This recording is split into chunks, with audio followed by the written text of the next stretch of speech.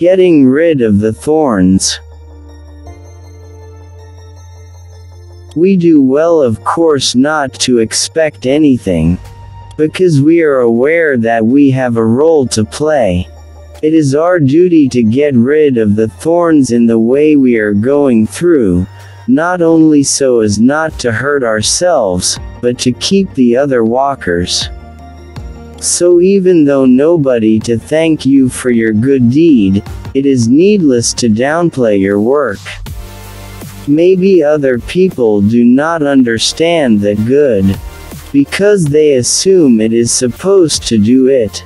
So what does it mean a thank you? Let alone the goodness flowing from your hands. And let your mind be free from feeling meritorious. Discover the meaning of the message of the wise. Give alms from the right hand as if the left hand does not know.